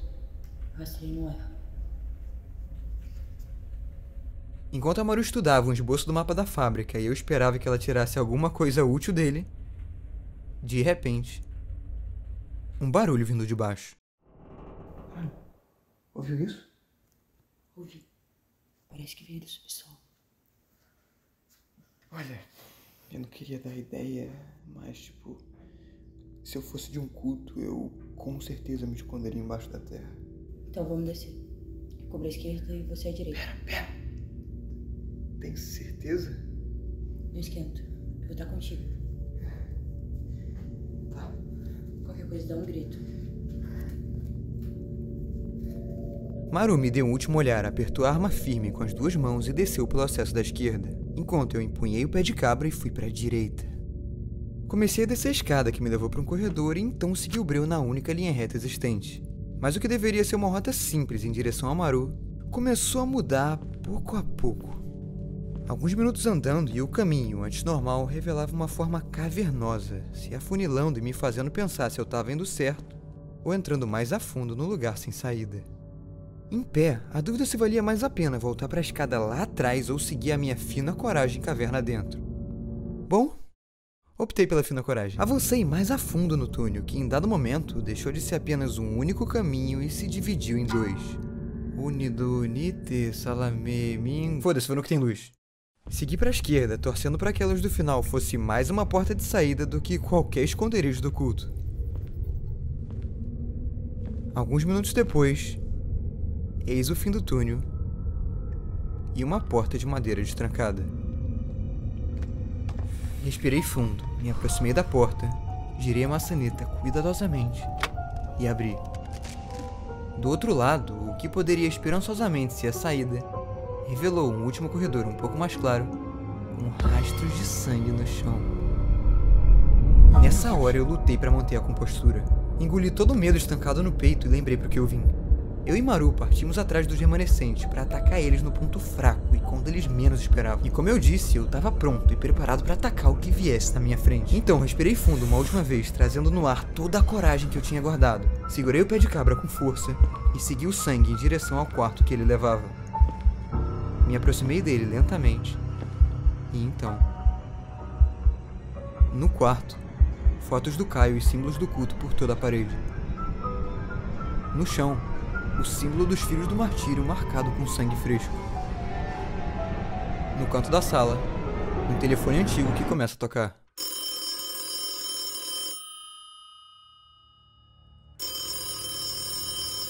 Alô? Quem tá aí? Não nos conhecemos ainda. Quem é você? O príncipe que vos fala. Fala em nome dos que foram, dos que virão, de todos os filhos do martírio. É um prazer conhecê-lo, Fiore. Príncipe? Peraí. Seria esse o líder do culto? Você é o altar?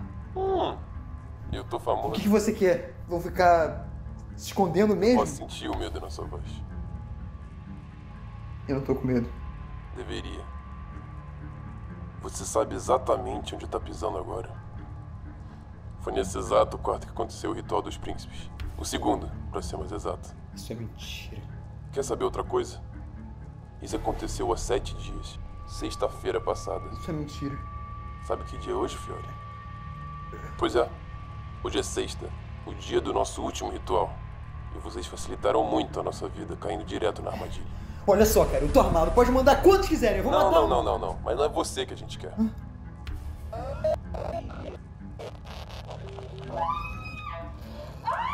Maru? Maru? É você?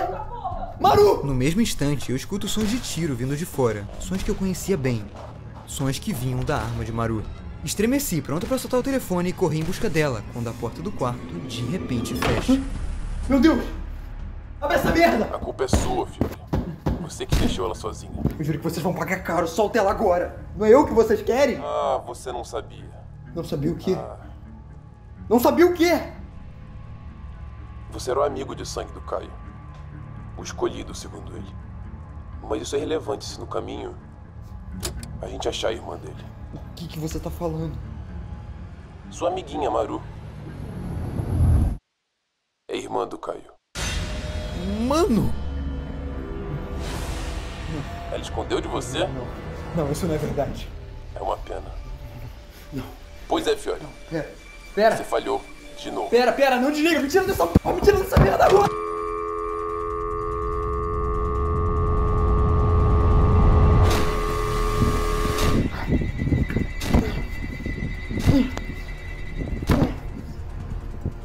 Sorte, consigo abrir a porta. Corro em direção a uma das janelas bloqueada por tábuas de madeira e quebro elas até abrir passagem e conseguir subir para terra firme.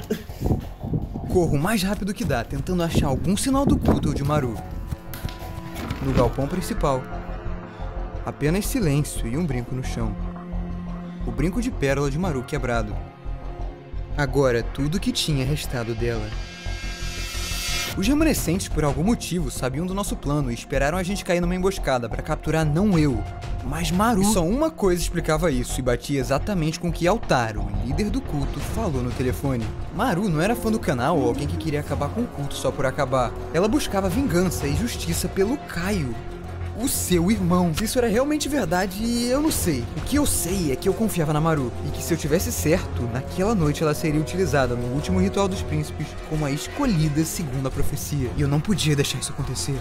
Então cheguei no carro, peguei a chave reserva no para-brisa e acelerei de volta pro prédio. O único lugar onde eu podia procurar por respostas, confirmar minhas suspeitas e criar um plano de resgate a Maru antes que fosse tarde.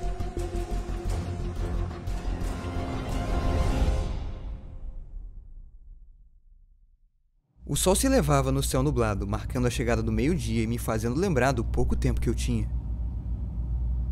Cheguei no prédio, subi as escadas dos corredores velhos mais uma vez, olhei para trás, confirmando que eu estava sozinho, e entrei no AP. Lá dentro, a ausência de Maru e o silêncio inquietante me davam uma sensação estranha, mas que eu precisava ignorar se quisesse clarear a mente e pensar rápido no plano. Ao meu favor, o computador de Maru cheio de prints dos remanescentes, as anotações da parede deixadas por ela e as informações frescas da conversa com o altar, que me ajudariam muito a juntar as peças do quebra-cabeça. Peças que me responderiam a única e indispensável pergunta: Para onde a Maru foi levada? Tá. O símbolo do culto? O líder? Cachorros? Alguns papéis e imagens aleatórias? É. Fudeu. A Maru podia estar literalmente em qualquer lugar. E na falta de uma bala rastreável ou algo do tipo, não tinha como saber onde. Eu tinha zero pistas. Mas eu sabia no fundo, e graças às minhas experiências passadas, que um culto não atuava em zonas muito separadas, mas em uma região pequena, bem específica, e isso podia me dar alguns insights. Assim como os filhos do martírio originais, os remanescentes cumpriam seu dever, fazendo o ritual dos príncipes. E não um, mas três. No telefonema com o altar, foi revelado que aquele quarto na fábrica era o local do segundo ritual e que ainda aconteceria um terceiro, onde Maru certamente foi levada como sacrifício. Se eu sabia o local do segundo ritual e descobrisse onde ocorreu o primeiro, talvez eu pudesse prever o último. Mas eis a questão: onde aconteceu o primeiro? Nas anotações da parede, algo que eu tinha deixado passar e que podia ser a chave para resolver o enigma. No canto esquerdo, um lugar no mapa escrito Cena do Crime, junto com coordenadas e notícias de um corpo encontrado num túnel. Hum, joguei na internet. Eis a confirmação de que as notícias eram reais e uma revelação ainda maior. As coordenadas do túnel, quando jogadas no mapa, caíam exatamente numa área pequena, na mesma região da fábrica abandonada. Ok, uma cena do crime suspeita perto da fábrica e não à toa pregada na parede de Maru. Se aquilo fosse realmente obra do culto, eu sabia que só podia ser uma coisa. Eles não iam sair cometendo crime sem motivo. Aquilo só podia ser sinal de um ritual dos príncipes. O primeiro que os remanescentes do culto realizaram. Beleza, Fiore, você tem o suposto local do primeiro e segundo ritual, mas como exatamente você vai prever o terceiro? Eu confesso que nessa hora vieram várias dúvidas e eu quebrei bastante a cabeça para chegar numa conclusão. Ai, mano. Até que eu parei, desviei o pensamento das anotações da parede e lembrei de uma velha frase que eu guardava comigo nos momentos de bloqueio. Às vezes a gente esquece que a resposta das nossas perguntas não tá no final ou no meio do caminho, mas onde tudo começou. Então pausei por um segundo e agradeci por ter me envolvido com o culto no passado. Quando eu invadi a casa do Caio lá atrás em busca de provas dos filhos do martírio, eu consegui informações sigilosas do culto e sobre como ele funcionava. Algumas delas muito úteis, outras que na época eu não entendia, mas que agora finalmente fazem sentido. No segundo vídeo da saga do culto, várias imagens, folhas e anotações que passaram batidas sobre três rituais separados por um triângulo.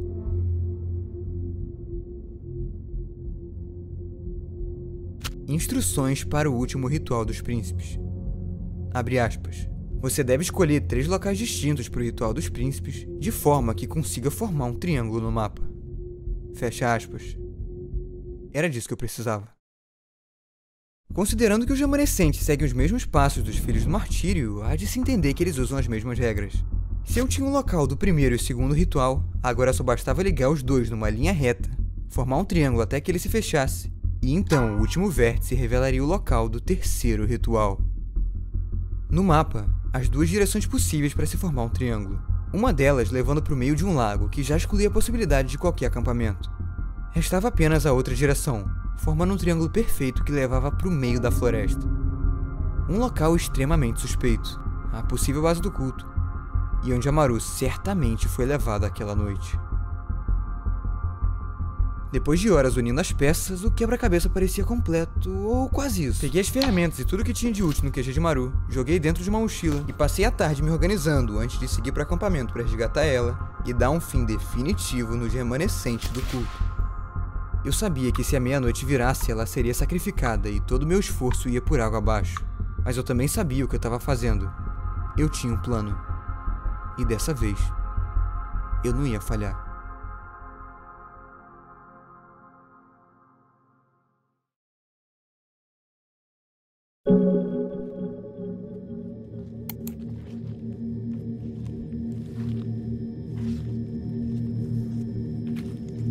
Já era o começo da noite quando eu parava o carro na beira da estrada e seguia na direção do vértice floresta adentro. Alguns minutos andando, passando por uma trilha de galhos tortuosos e árvores meio sinistras, e acabei numa clareira, revelando um grande silo e à frente o que parecia ser uma fazenda claramente habitada. De longe, luzes de fogueira. Alguns homens de roupa preta. Vários cachorros presos na coleira.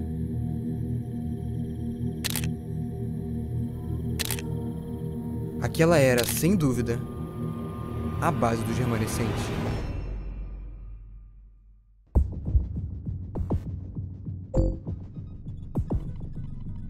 À minha frente, um canil. O lugar onde os cachorros deviam passar a noite, mas que no momento estava vazio. Cheguei perto dele, me esgueirei lá dentro e reparei em alguns potes de comida com carne recém-colocada. Abri o zíper da mochila, tirando lá de dentro um recipiente com Dramin, um remédio de enjoo famoso por causar sonolência. Bom, A partir daqui você sabe o que acontece, né? Voltei para a floresta em silêncio e esperei. Minutos depois, os cachorros presos na coleira eram levados por um homem para dentro do canil para comer. Eu não sei se eles iam voltar para a vigília depois daquilo, mas uma coisa eu tinha certeza.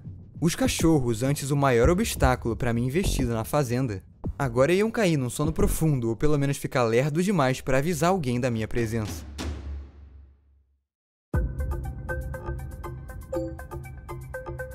Dei a volta pela floresta e adentrei na fazenda, sabendo que os cachorros não seriam mais problema e apressando o passo antes que os remanescentes desconfiassem de algo. Avancei por entre as fogueiras de luz baixa e as pequenas construções quebradiças, até enxergar no final do caminho um armazém extremamente suspeito, e onde a Maru podia estar presa antes que o ritual começasse. Cheguei perto dele, olhei pelas fissuras da porta e logo de cara notei uma cela. Dentro dela, nenhum sinal de Maru. Próximo à porta, um guarda fazendo vigília.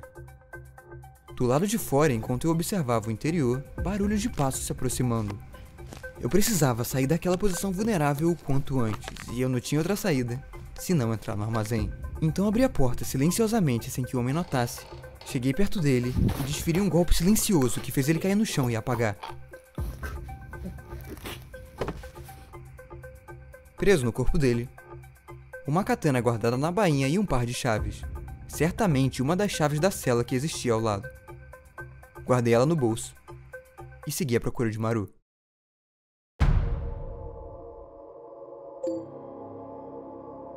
A essa altura eu já não via nem escutava nenhum cachorro, o que me confirmava que o plano do Dramin lá atrás deu certo. Mas como eu disse, cedo ou tarde os remanescentes iam suspeitar de algo. De repente, uma breve agitação à minha volta, luzes de lanterna piscando e a sacada de que eles procuravam um intruso. Nesse momento eu estava céu aberto, em péssima posição. Eu precisava encontrar algum lugar para me esconder. Então apertei o passo e me enfiei dentro de um milharal. A primeira coisa que eu vi à frente. Deitei no chão e rastejei pelas folhas, enquanto luzes de lanterna e passos agitados se aproximavam pelos lados. Segurei a respiração e continuei rastejando até que os barulhos diminuíssem. Alcancei o fim do milharal, ainda em estado furtivo, e levantei, dando de cara numa grande fogueira. Na frente dela e amarrada pelas mãos numa estaca de madeira, Maru. Maru? Maru? Você tá bem? Eu vou tirar daqui. Lá estava Maru, semi-acordada, debilitada, mas ainda viva. Comecei a desamarrar a corda das mãos dela, enquanto a luz da fogueira cortava um pouco da escuridão ao redor, dando um ar macabro e ao mesmo tempo angustiante. Desatei os nós, soltando a corda completamente e ajudei ela a se levantar. Mas antes que eu pudesse virar e dar o fora, de repente, um vulto surge da escuridão.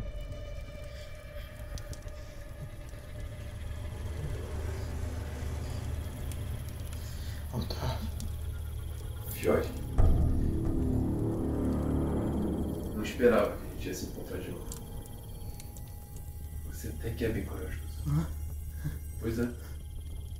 Eu acho que eu te subestimei um pouco. É bizarro você ter atravessado tudo e chegar aqui mesmo. Parabéns. Você é um psicopata. Um assassino. Você e os outros. Todos vocês. Pode me chamar de qualquer coisa. Menos disso. É muito fácil falar isso quando você enxerga da sua bolinha pequena. O problema de vocês é a ignorância. Isso segue e corrompe a sua mente. Te torna limitado. Você tá delirando. Na verdade, eu já estou há muito tempo. E eu achava que isso ia terminar hoje. Mas aí você veio até aqui impedir isso.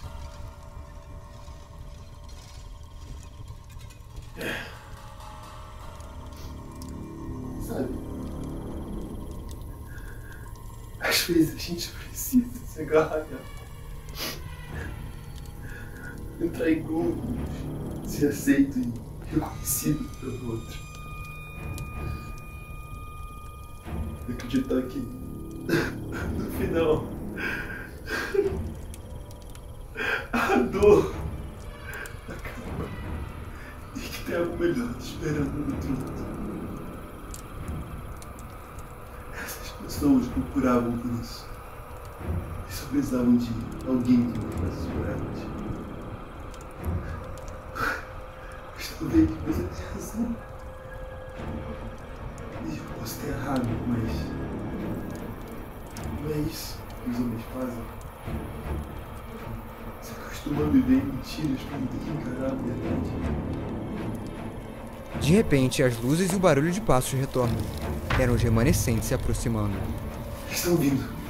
E não vou deixar vocês escapar. Mas vocês têm chance de fugir.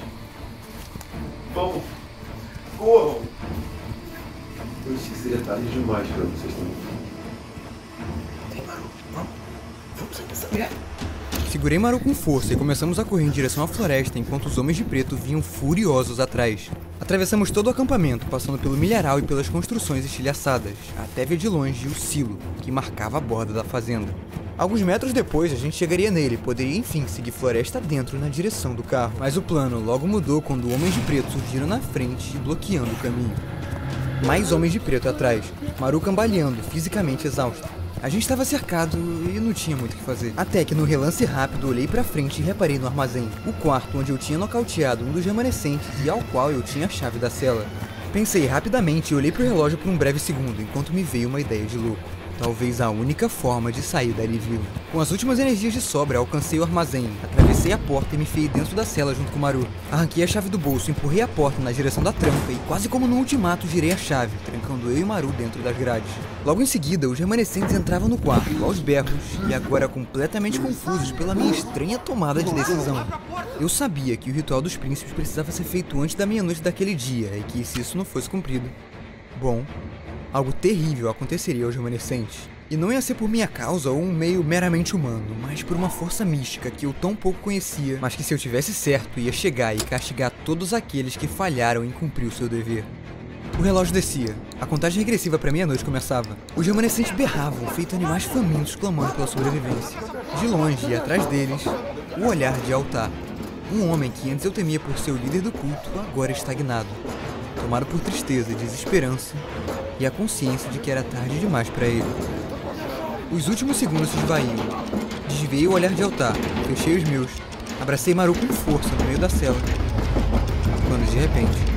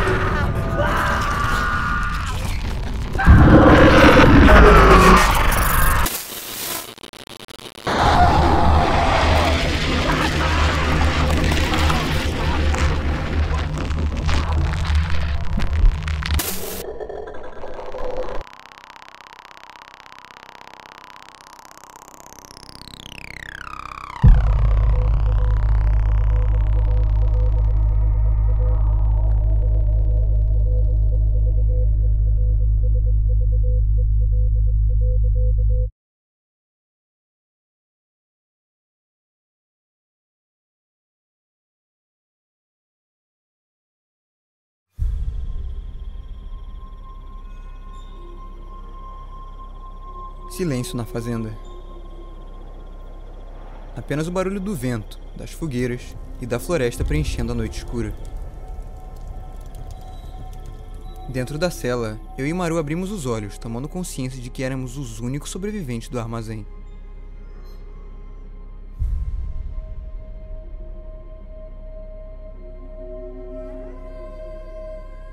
Fora da cela, restos humanos espalhados pelo teto e paredes. Como eu presumi, uma força mística inexplicável e quase que incompreensível tinha rompido dos céus e arrastado consigo todos os remanescentes que falharam em cumprir o ritual. Eu não sabia como aconteceu, eu queria falar, explicar o que eu senti no momento, mas não tem como colocar em palavras. E isso, na verdade, nem importa. O que importa é que eu e Maru estávamos vivos. Levantamos em movimentos lentos, peguei a chave do bolso e destranquei a porta da cela. Um breve olhar à nossa volta e a fazenda, antes tomada pelos homens de preto, agora repousava num vazio absoluto, revelando o silêncio da floresta e a certeza de que o mal e os remanescentes do culto finalmente chegaram ao fim.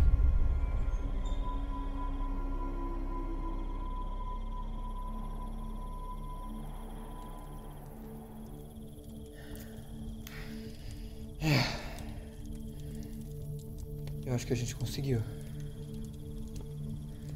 A gente não. Você conseguiu. Hã? Você fez tudo sozinho. Passou por tudo. Todos esses caras.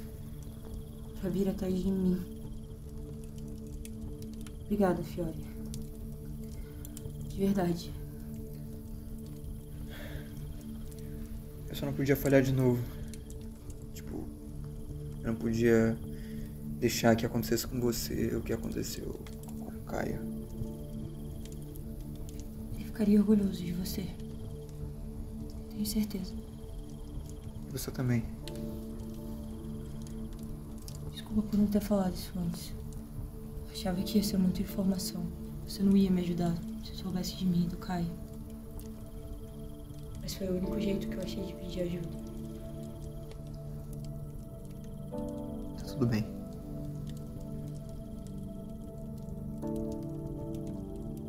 Eu já perdi muita coisa. Perdi minha mãe pra uma doença. A pessoa que eu mais amava. Depois meu pai abandonou a gente. Só ficou eu e o Caio. A gente era muito pequeno, não sabia lidar com essa falta. Esse baque. Então a gente cresceu, um do lado do outro. Não passava pela minha cabeça perder a última pessoa que eu amava. Mas a gente não costuma ter muito controle das coisas. Um dia, Caio também se foi. Quando eu tentei trazer ele de volta, já era tarde.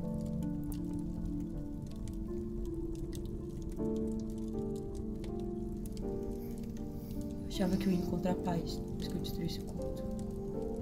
Agora eles se foram. Mas sabe o que é pior? Parece que nada mudou. A sensação é a mesma.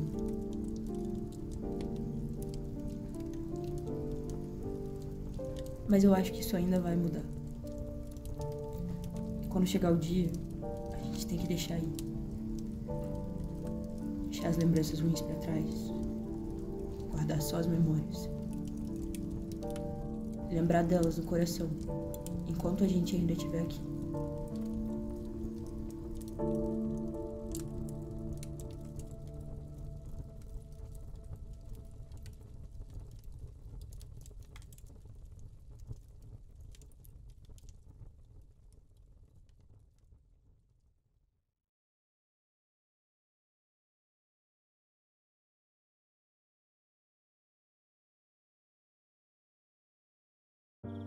Pela primeira vez em muito tempo, eu sentia leveza, a sensação de dever cumprido.